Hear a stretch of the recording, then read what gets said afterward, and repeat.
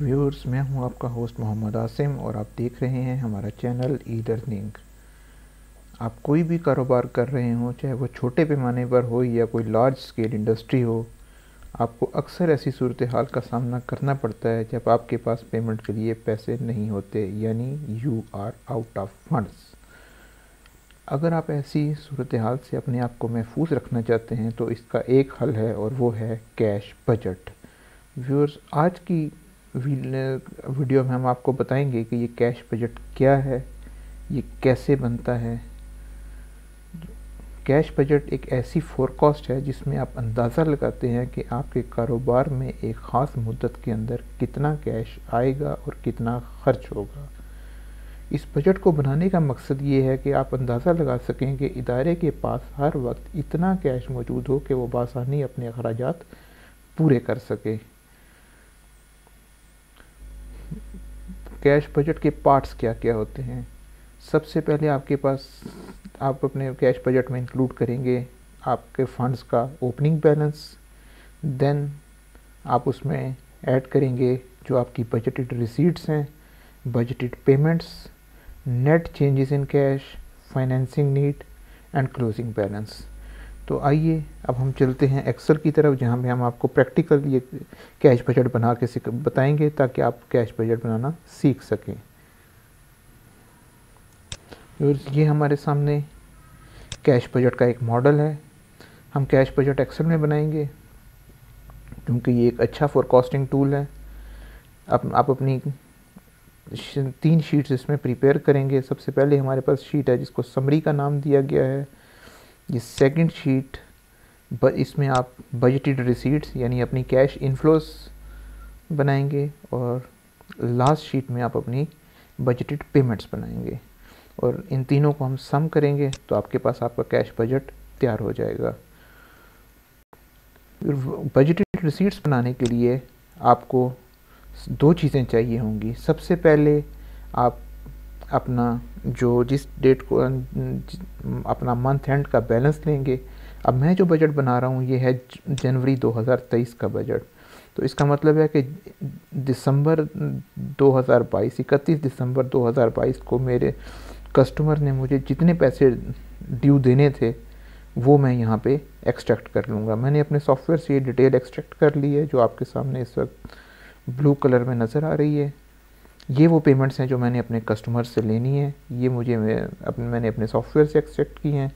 उसके बाद next column के अंदर मैं एस्टिमेट लगाऊँगा कि मुझे अगले नेक्स्ट मंथ कितने कैश ऑर्डर्स मिलेंगे। ये करंट मंथ के ऑर्डर्स हैं, जो कैश के ऑर्डर्स हैं। उसके बाद आप, क्योंकि हम जो बजट बना रहे हैं वो वन मंथ का बजट है तो मैंने इस बजट को वीक्स में तकसीम कर लिया। मेरे पास अमूमन four four four point two five weeks होंगे तो मैं इसको फाइव वीक्स में डिवाइड कर लूँगा। ये जिस तरह आपके सामने है।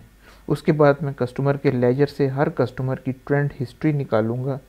यानी मैं, ये पहले मेरे पास जयाउद्दीन हॉस्पिटल कराची है, जिससे मैंने साढ़े तेरह लाख रुपए लेने हैं। और ये मुझे देगा कब? हंड्रेड परसेंट पेमेंट करेगा वीक टू में। तो अब मैं यहाँ पे वीक टू में अमाउंट में इक्वल का साइन दबाऊँगा और यहाँ जो भी बैलेंस है इसको एंटर कर दूँगा। इस तरह ये वीक टू में मुझे इतने पे नेक्स्ट मेरे पास अबासी शहीद हॉस्पिटल है जहाँ से मैंने 1.9 मिलियन लेने हैं और ये आ, मैंने लेने हैं 100 परसेंट पेमेंट आएगी मुझे वीक टू के अंदर। तो मैंने वीक टू में जाके इक्वल का साइन जहाँ, उसके बाद मैं इसको रिसीवल के कॉलम में लेके आऊँगा और एंटर कर दूँगा तो वहाँ से अमाउंट यहाँ पे कॉपी हो जाएगी। अब नेक्स्ट जो पेमेंट है मेडिकेयर हॉस्पिटल की, ये एक्सपेक्टेड है वीक वन में। तो मैं आऊँगा वीक वन में अमाउंट के कॉलम में इक्वल का साइन दबाऊँगा और यहाँ पे जो अमाउंट रिसीवल है, उसको एंटर कर दूँगा। उसके बाद नेक्स्ट न्यूज़ फार्मा की पेमेंट है। ये मुझे करंट मंथ की सेल है उसके अगेंस्ट है और ये मुझे वीक फोर में एक्सपेक्टेड है।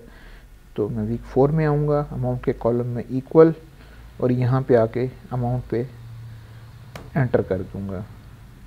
तो इस तरह ये मेरे पास अमाउंट एंटर हो जाएगी। उसके बाद ये देखिए नेक्स्ट अमाउंट्स मैंने एंटर की हुई हैं ताकि मैं टाइम सेव कर सकूँ। हंड्रेड परसेंट पेमेंट है एक्सड्रॉन ट्रेडर की, जो कि मुझे वीक वन में मिलेगी, ये यहाँ पे आ रही है नेक्स्ट भी हंड्रेड परसेंट वीक वन में मिलेगी। उसके बाद टी एच क्यू घोटकी की पेमेंट है, जो मुझे वीक थ्री में मिलेगी, ये मैंने वीक थ्री में एंटर कर दी। इस तरह नेक्स्ट पेमेंट जो है, वो मैंने वीक फाइव में एंटर कर दी। इसी तरह मैं, हम एक कॉलम बनाएँगे कैरी फॉरवर्ड कैरी फॉरवर्ड का मतलब है कि जो पेमेंट जनवरी के बाद मिलेंगी, वो हम यहाँ पर ले जाएँगे। जिस तरह, ये देखें हमारे पास रो नंबर थर्टी थ्री पे टी एच हॉस्पिटल ग्वादर की पेमेंट है, जो 1.6 मिलियन ये पेमेंट हमें फेब में एक्सपेक्टेड है तो इसको मैं कैरी फॉरवर्ड के कॉलम में ले जाऊँगा। उसके बाद नेक्स्ट देखिए, मेरे पास आशू फाउंडेशन की पेमेंट है।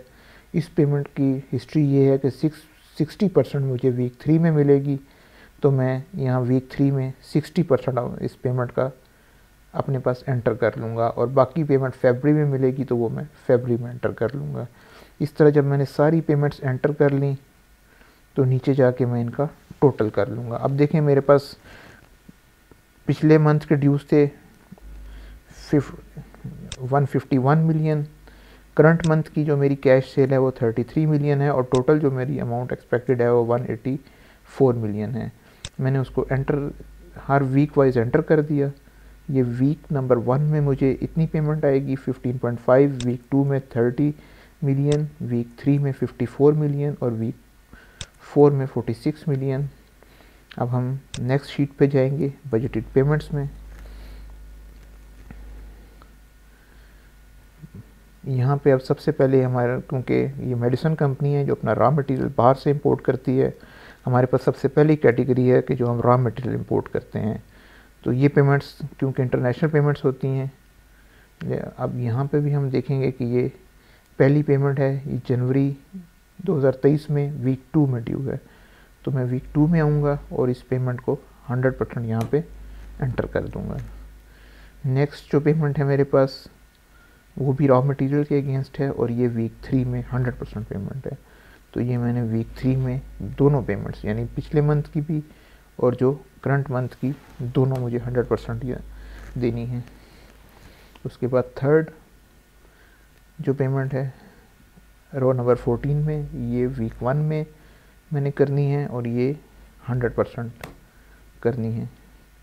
उसके बाद इससे नेक्स्ट पेमेंट ये भी वीक वन में तो वीक वन में आया और यहाँ पे एंटर कर दिया। उसके बाद नेक्स्ट पेमेंट 3.2 मिलियन ये फैब में ड्यू है तो इसको कैरी फॉरवर्ड के कॉलम में ले गए उसके बाद नेक्स्ट पेमेंट जो है वो 20 परसेंट जून में है और 80 परसेंट मार्च में।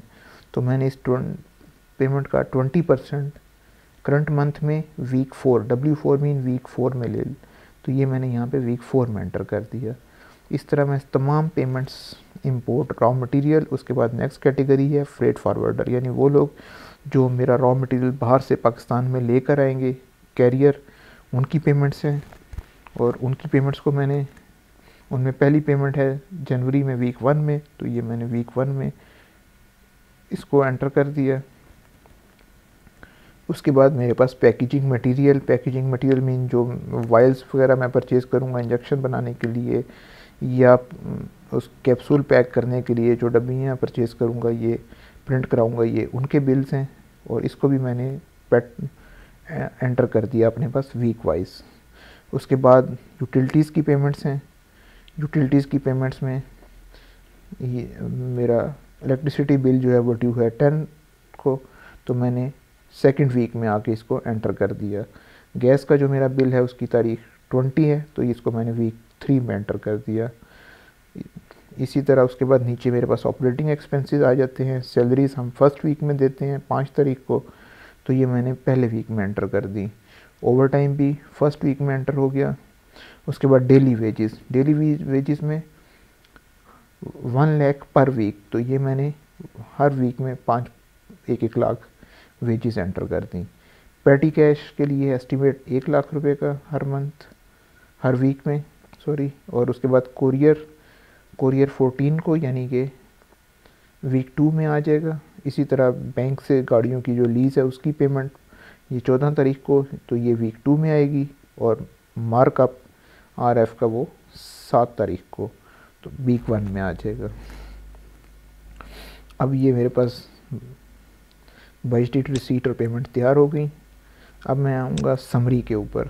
समरी में भी इसी तरह वीक वाइज सबसे पहले हम लेंगे ओपनिंग बैलेंस ओपनिंग बैलेंस के मतलब फ़र्स्ट जनवरी को मेरे पास कैश का कितना बैलेंस है? वो है one point four one four double two triple zero जो कि मैंने ये एंटर कर दिया डी टेन में।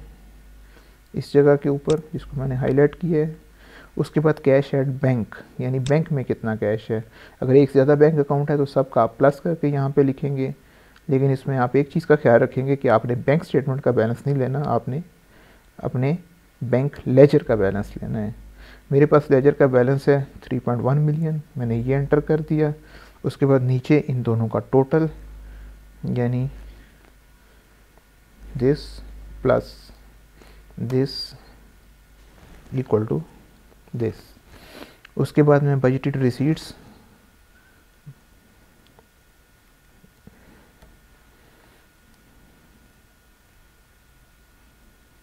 आपको मैं यहाँ से दोबारा कॉपी करके दिखाता हूँ। ये देखें बजटेड रिसीट सबसे पहले मैं वीक वन में आया और यहाँ पे इक्वल का साइन दबाया, इस शीट में गए और यहाँ पे जो टोटल आ रहा है वीक वन की रिकवरी का, वो एंटर कर दिया। उसके बाद इसी तरह वीक टू में इक्वल का साइन और यहाँ पे एंटर कर दिया।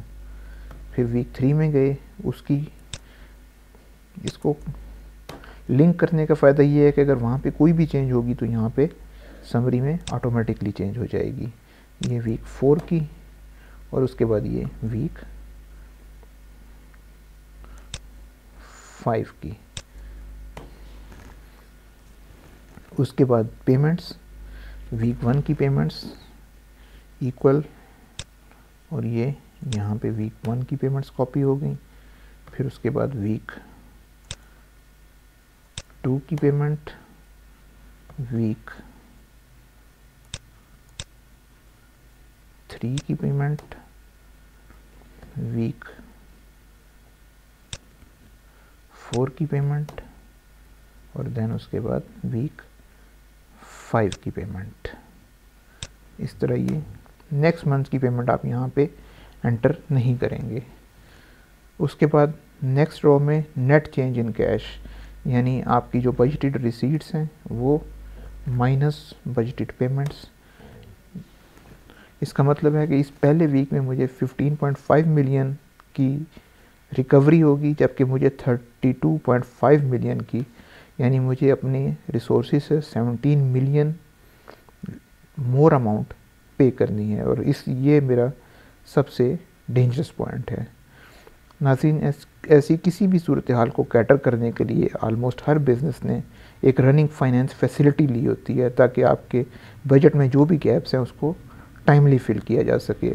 अब हमने यहाँ पे जो लिमिट ली हुई है वो है 16 मिलियन यानी मैं 16 मिलियन का आरएफ या ओवरड्राफ्ट ले सकता हूँ अपने बैंक से। अब देखें, यहाँ पे मुझे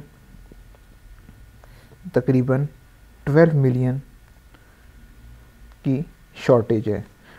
और यहाँ, और लेकिन ये भी देखिएगा कि हमारा, हमने, हम अपना रिक्वायर्ड हम कंपनी की पॉलिसी ये है कि कम से कम फाइव मिलियन का बैलेंस जो है वो अपने अकाउंट में हर टाइम मेंटेन रखती है किसी भी कॉन्टीजेंसी से निपटने के लिए। तो अगर आप उस फाइव मिलियन को भी लेंगे तो हमें सेवनटीन पॉइंट फाइव मिलियन का शॉर्टेज है फंड्स का। तो यहाँ पे मैं तमाम अमाउंट आरएफ से निकलवाऊँगा और यहाँ पे इसको अपने पास रिसीट में, यानी 16 मिलियन का रिसीट में लूँगा तो देखें अब मेरे पास 3.4 मिलियन का क्लोजिंग बैलेंस आ गया। मुझे बैलेंस चाहिए 5 मिलियन का, अभी भी मेरे पास 1.5 मिलियन शॉर्ट है। पेमेंट्स मेरे पास कोई भी ऐसी नहीं है, सब पेमेंट्स कमिटेड है, अगर मैं पे नहीं करूँगा, अगर मैं फ्रेट फ्रेट की पेमेंट नहीं करूँगा तो मेरा फ्रेट रुक जाएगा, अगर मैं मटीरियल की पेमेंट नहीं करूँगा तो ज़ाहिर है मुझे प्लेंटिस देनी पड़ेंगी स्टेट बैंक को।